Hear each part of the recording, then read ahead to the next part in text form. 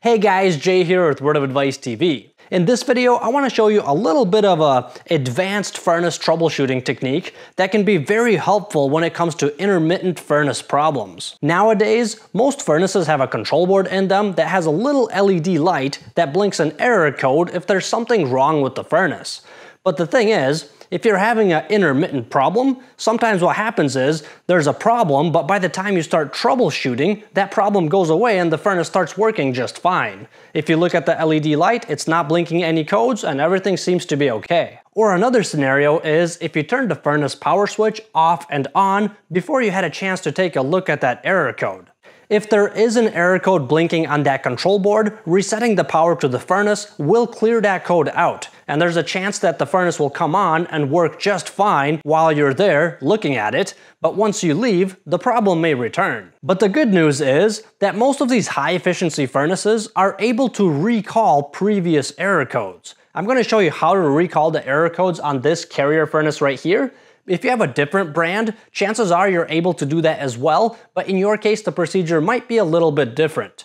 If you have a Carrier or Bryant furnace, your steps are probably going to be the same as mine, but if you have a different brand, you may be able to find the steps on how to recall the error codes on the back of the door. I really like how Carrier did it on this furnace. They have a wiring diagram on the back of the door, they have installation instructions, and the error codes all on the back, with all the information on the back of the door, you might not even have to pull out the install manual.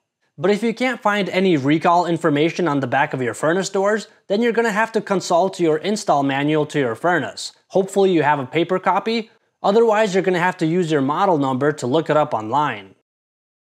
So right above all the explanations of the different error codes, we see the instructions on how to do an error code recall. Let me show you an example of how this is done. In order to get to the dip switch that we're going to need to do the recall, we're going to need to take the bottom door off, and we will need to turn the furnace power off as well.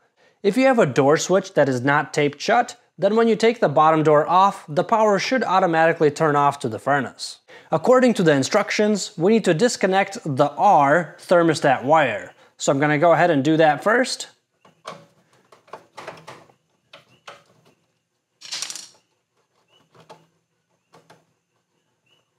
By the way, if your furnace does not have any wires going to the thermostat strip, and instead it has a plug that goes into this green thing right here that says ABCD, instead of disconnecting the red wires, you simply have to unplug that plug.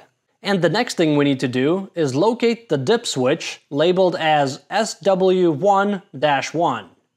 All these little switches in the corner of the control board are called dip switches, and they're basically just mini on-off switches that are used to adjust different settings on the furnace. Usually, these little dip switches are only adjusted by the installer when they're installing the furnace.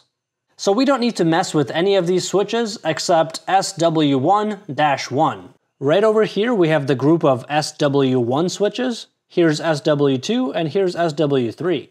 And right on top we have switch number 1, the left position is off and the right position is on. The instructions tell us that we need to turn this switch to the on position. Okay, and I think that's it. We have the R wire disconnected, the first switch is in the on position, and now I can go ahead and turn the furnace power back on. With the power back on, if I push this door switch in, we should be able to see the previous error codes right away. So let's go ahead and do that, and I'm going to try to count them right as they come. One, two, three. One, two. So three short blinks, two long. One, two, three. One, two. Another 32. One, two, three. One, two. One and one. Okay, one short blink, one long blink. So let's go ahead and take a look at the back of our furnace door again and see what these codes mean. Here's our list of error codes. If we scroll down and find 32, 32 is a pressure switch that did not close. And since we had that code three times in a row, that means that the furnace encountered this problem three times, which was followed by 1-1, which is no previous codes. So this means that the furnace ran into a pressure switch problem three times, and the furnace didn't register any other problems besides that. And that, my friends, is how you recall error codes. Don't forget to turn the furnace power switch back off, turn the SW1-1 dip switch back into off position, reconnect the thermostat wires, put the doors back on, and you're good to go. And if you made it all the way to the end of the video, I have a story for you. A guy came into a pizza shop and he was just gonna get a drink and be on his laptop doing some work. So when the waiter comes, he asks him, Hey waiter, could you tell me what the Wi Fi password is? And the waiter replies, You have to order a pizza first. So the guy says, Well, okay, whatever, just get me a small pizza.